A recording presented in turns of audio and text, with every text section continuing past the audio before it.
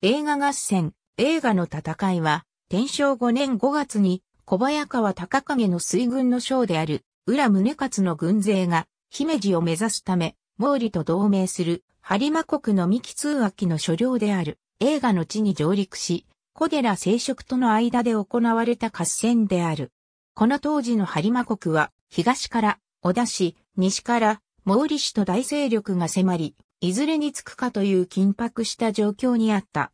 親オタ派であった小寺氏に対し、毛利氏はその10倍の数となる5000の兵を送り込んだが、対する庄司側は、家臣、小寺交流の奇策により、毛利軍を撃退した。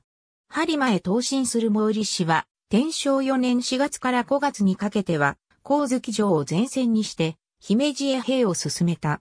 4月、海上からも室津に上陸し、映画から姫路を目指した。前述の通り、映画は、播磨の一行修門との中心地で、毛利勢はここにも軍事拠点を設けていた。この間、小早川高影は、備中笠岡に進出して、本陣を置き、老いの毛利氏当主、照本は、秋三原に本営を構えた。映画を領する、三木通秋は、家臣の三木聖官が、小寺交流の妹婿であったことから、土器山の戦いで救援に駆けつけるなど当初は、交流に協力的であり、正治に近い勢力と言える人物であった。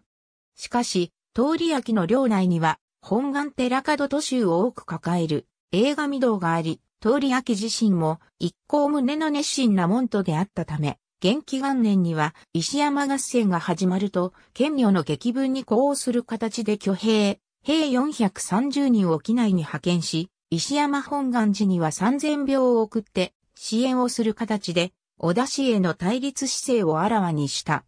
これにより、播磨切手の親小田派であった小寺交流をはじめ、親小田に傾きつつあった赤松氏や小寺氏、別所氏ら播磨の周辺。天正5年、毛利照元が本願寺支援を決めたことで、織田信長への対抗という点での利害が一致したため、通り秋は毛利氏と同盟し、毛利氏より派遣された小早川水軍を領内に上陸させるのに協力した。庄司勢は総勢2000人ほどはいたが、聖職の沖城や黒田氏の姫路山城などにも守備兵を割かねばならず、動かせる軍勢は交流率いる500の兵だけであった。対する毛利軍は10倍の数の5000であり、普通に戦ったのでは勝てないため、交流が策による戦いを展開していくこととなる。相手は水軍兵のため、上陸して間もない頃は、長時間戦に揺られていた疲れで休んでおり、体制が整っていないと判断した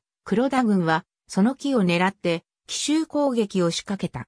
さらに、地元近隣の住民にも呼びかけ、旗を掲げさせた。もう年家中でも、名将と言われるほどの実力のあった宗勝は、なんとか体制を立て直そうとするも、農民たちの旗を援軍と見た毛利軍は撤退を決意し、光月に退却していった。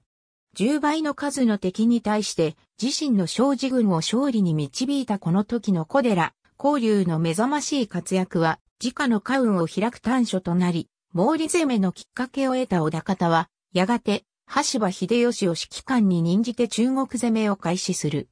天正5年10月、秀吉軍が張り参りすると、交流は居城である姫路山城を秀吉に献上し、秀吉はここを本拠にして、播磨、田島を転戦した。交流自身も中国攻略戦の中で、秀吉に徴用され、この後は、竹中重春に並ぶ、秀吉の軍師、黒田官兵衛としても活躍していくこととなる。ありがとうございます。